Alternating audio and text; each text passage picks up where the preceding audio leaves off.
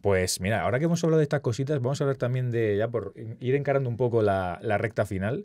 Eh, ¿Cuál ha sido de estos últimos meses, verano, que el, verano suele ser en general un mes más flojillo de noticias en, para todo, pero sí que hemos tenido algunos casos de intoxicaciones alimentarias, de cosas así realmente mm, más graves, tema botulismo con tortillas de patatas y todo esto. ¿Cuál ha sido, si no en verano, en los últimos meses, uno de estos temas así que más os haya preocupado, llamado la atención o que de verdad creéis que, oye, esto ha sido algo que los medios quizá también han tocado demasiado, lo han exagerado, también puedo ponerlo en el otro lado? Un, tema que os haya especialmente tocado ahí la fibra sensible, incluso que os haya cabreado, de seguridad alimentaria. Yo sí me voy a quedar con las tortillas. Creo que ha sido, además también, ¿eh? y reto personal, porque, o sea, en nuestra cabeza, además es que lo hablé con Bea, mm.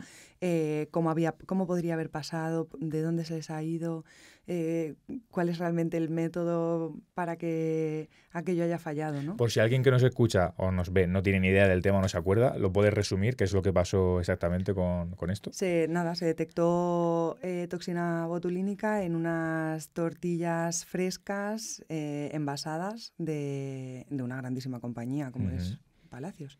Entonces retiraron varias, de varias marcas, de varios eh, centros, no me acuerdo. Sí, porque además el problema es que fabrican para muchísimas... Era distribución nacional, ¿no?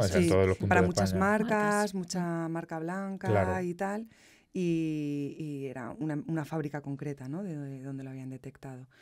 Entonces, al principio fue como mucho bombo, nosotros nos preocupamos bastante y luego ha quedado un poco ahí en el limbo, porque no ha habido respuesta posterior, ¿no? Lo que decía la empresa es, hemos pasado todas las, eh, las em, auditorías de seguridad alimentaria, no sé qué, que eso, pues en fin, es que es como no decir nada, ¿no? Porque esto, bueno, pues se pasa una vez al año, es una foto de la empresa y tú puedes tener un fallo. A ver, ¿te crees que el botulismo está esperando? Ay, mm, voy a ir hoy, que tenemos auditoría. No, o sea, eso pasa cuando pasa.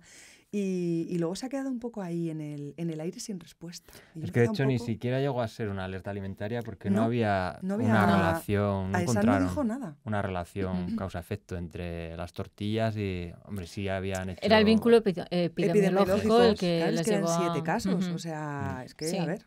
Sí, pero no públicamente no se ha sabido no se ha sabido nada más. Y esto es algo que pasa mucho con, este tipo de, alertas, incluso cuando no son alertas, sino que simplemente son noticias, que hay como una, un pico de, noticias durante un periodo muy breve de tiempo. Lo sabemos todo e investigamos todo sobre ello y luego no, se sabe la resolución, no se sabe si eh, era realmente las tortillas, si era en esa fábrica.